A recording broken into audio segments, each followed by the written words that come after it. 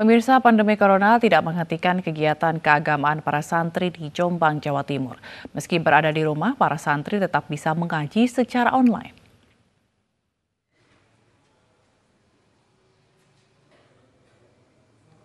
Pandemi Corona memaksa pondok pesantren baru Ulum Tambak Beras Jombang, Jawa Timur memulangkan 14.000 santrinya. Namun bukan berarti kegiatan keagamaan berhenti begitu saja. Para santri tetap belajar dan mengaji melalui Facebook dan YouTube dari rumah masing-masing.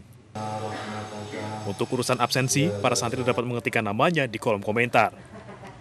Di Ramadan ini, para kiai, para pengasuh, dan juga para ustadz masih aktif membimbing para murid, para santri yang posisi mereka ada di rumah masing-masing.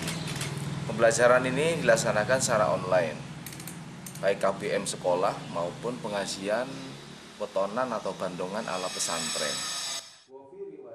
Nantinya saat kembali ke pesantren, para santri akan diminta membaca kembali kitab kuning sesuai dengan pengajian online yang telah diikuti. Cara ini dinilai efektif untuk mengikuti anjuran pemerintah untuk beraktivitas di rumah selama pandemi corona.